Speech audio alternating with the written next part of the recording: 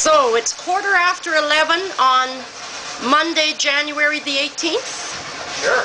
And, yeah, My basement is getting screwed. yes.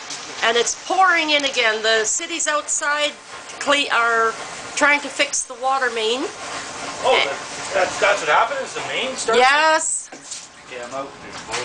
And we're getting re-flooded again. Oh, that's.